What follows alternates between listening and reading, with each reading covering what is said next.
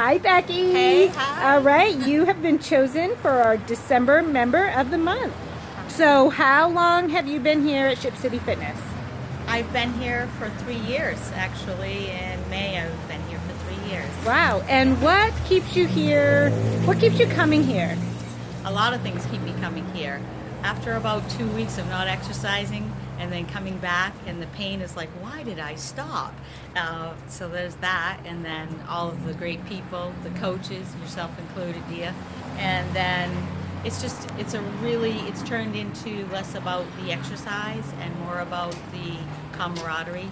I've learned a lot about nutrition, a lot about nutrition, and a lot about what exercises uh, work for me.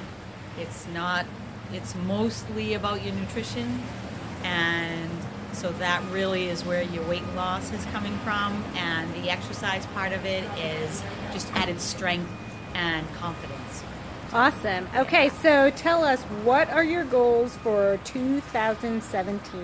Your fitness goals. my fitness goals are i've become brave and stepped out and done my first road race this month so i think i'm going to try to do a half marathon in the spring Wow. I announced it to the world. Oh Yay! Now you have to do it. I know, really.